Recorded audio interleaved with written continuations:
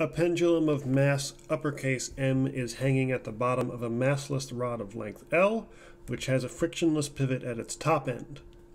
A mass M, moving as shown with velocity v, impacts M and becomes embedded. What is the smallest value of v sufficient to cause the pendulum, embedded now with mass m, lowercase, to swing clear over the top of its arc? This problem is a form of something that you see pretty often in physics class called the ballistic pendulum. Okay, so it's a version of that. That's just sometimes uh, done with a bullet. Okay, anything where something hanging becomes whacked with something else. Now you have a com compound combined mass, which is now going to swing the pendulum. And the methods we're going to use to solve this are pretty consistent with all the other versions of this problem. So you can use this, this result, um, you know, even if the mass is sitting on a track, for instance, okay, and it's going to swing up the loop, something like that, or even if it's just on a table. What we're about to do applies. So before we move on, we're going to have a quick lesson in your physics class that most will be forced to take, the level that most will be responsible for, there are two types of collisions, perfectly elastic and perfectly inelastic. By collision, I'm talking about something like we're seeing here. One object whacks another object.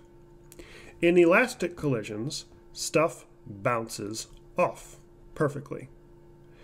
In those cases, energy is conserved and you can use conservation of energy to solve the problem. In those cases, momentum is also conserved, and you can also use conservation of momentum, which is usually simpler, but in the harder problems you have to use both methods to find the initial final velocities, things like that. There are also inelastic collisions. Stuff sticks together. They do not bounce off each other. Energy is not conserved in these situations, and you cannot use conservation of energy methods to find initial and final velocities, but you can use momentum. The moral of the story is that in both cases, momentum is conserved, which makes it seem, at least at this level of physics, that you can always rely on momentum to be helpful. Let us say that the momentum initially is equal to the momentum finally, where initially refers to before collision. And finally refers to immediately after collision. Let's also specify that momentum is a vector and that we're going to be talking about the momentum in the x direction. Currently, this mass is moving in the x direction. We have the momentum of two objects to consider when we consider the initial and final momentum. The definition of momentum, I'll remind you, is simply mass times velocity. So, we have a lowercase m and its velocity, where the lowercase m is known, and the velocity v is exactly what we've been asked to find we need to find a smallest value of v sufficient to cause the pendulum to swing clear over the top, but we'll get to that in a second. We add that to the momentum of the larger mass, the pendulum. But the thing is that his velocity is currently zero. We set this equal to the final momentum, where we understand that if they are now stuck together, they may as well be one object whose mass is lowercase m plus uppercase m, and whose velocity, we'll call it uppercase v, is also unknown.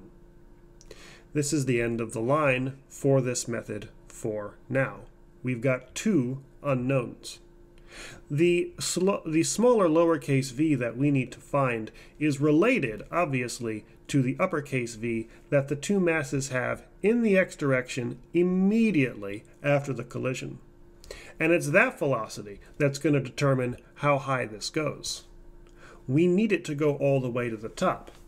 But the good news is that once they've made contact, there's no more collisions to think about. We don't have to categorize it one way or another. It's a smooth motion from here to here. And we're going to use energy methods to talk about that because we're starting with some velocity and we are ending with some height, at least, okay, if we run out of kinetic energy by the end of that process. Because energy is a state variable, I don't care that we technically took a curved path up to the top of this loop. So the initial mechanical energy is equal to the final mechanical energy, where now my initial and final states represent the bottom and top of this loop. What kind of energy is involved in the system in this initial case? We have just started moving at a location which we will call height of zero. So we have kinetic energy. My initial kinetic energy is equal to what kind of energy is present at the top of the loop? Well, if I've just barely made it, then we might as well have no velocity at all. But we have gained height, so all of the kinetic energy has been converted into potential energy of the final state. The definition of kinetic energy is 1 half mv squared. But the mass we are talking about is the compound m plus m.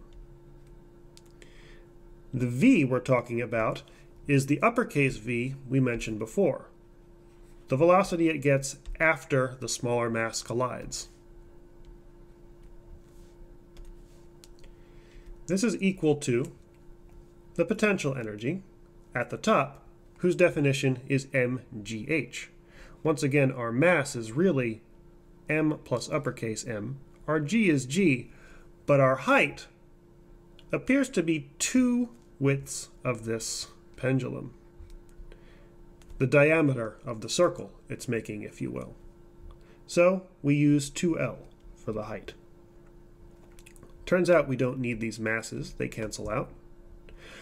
We have v squared over 2 is equal to 2lg. We can multiply both sides by 2, yielding v squared equals 4lg. And we can take the square root of both sides, where we say that v is equal to the square root of 4lg, which even further simplifies to 2 square root lg by pulling the 4 out of the radical. This is the desired variable that we needed, highlighted in green over here. We're now ready to complete the problem, because we can express the small v minimum in terms of the minimum large v that this mass combined needs to reach the top of the loop. So let's write what we have. We zeroed this out. We have lowercase mv equals m plus m now in for V comes 2 rad LG. And dividing both sides by the lowercase m, we have that the desired velocity for the smaller mass is 2 m plus m root lg over lowercase m.